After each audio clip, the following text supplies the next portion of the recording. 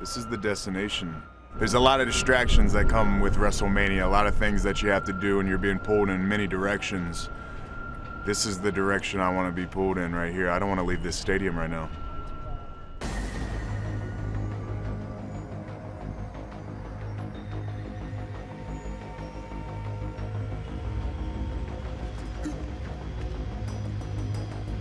The past couple weeks have just all been about fine tuning things. Uh, you know, really my diet and things like that, and, and just putting the proper things in your body and, and just getting ready. I'm stepping into a fight.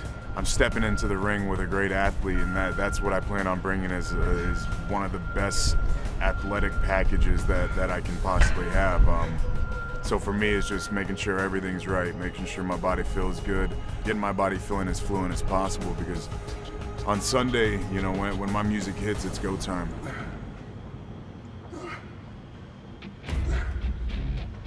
It's been a weird year for me. Having a hernia surgery, having a scar with mesh over it to keep it strong.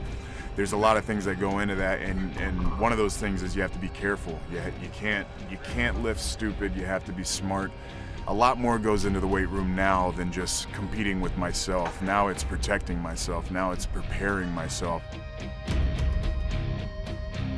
There's a, a, huge responsibility when you're a WWE superstar. We're telling people we are WWE superstars. We have to look and be that way. And uh, Brock is the same way. He, he, keeps that standard. He keeps that bar as high as he can. And uh, it just gets down to the point you can know as much as you want about a competitor, but you just got to get in there and do it. Like old Mike Tyson said back in the day, everybody's got a game plan until they get hit in the mouth, and that's my plan. To hit him in the mouth, to that shock and awe. Uh, my plan is to bring the fight to him before he's even ready. I've been on a journey now, you know, it's it's it's every single day. Every ounce of sweat that's dripped out of my pores have, have been for this moment. Nothing pisses me off more than when people tell me what I can and can't do. As a man, screw that. Screw you. You know what I mean? Who you who are you to tell me what I can and can't do? You're not walking in my shoes. Brock Lesnar. Whether he's signed, you know, for five years, ten years, or two days, it doesn't matter to me. Man to man, there's no excuses. We're gonna fight. Bring your ass here on Sunday. The way I feel right now, my emotions, it, these are true things that are happening. So everybody wants to come out here and steal the show. It's mine to own.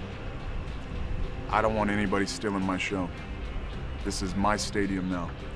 That's my ring out there. That's my set. It's up to me to own it.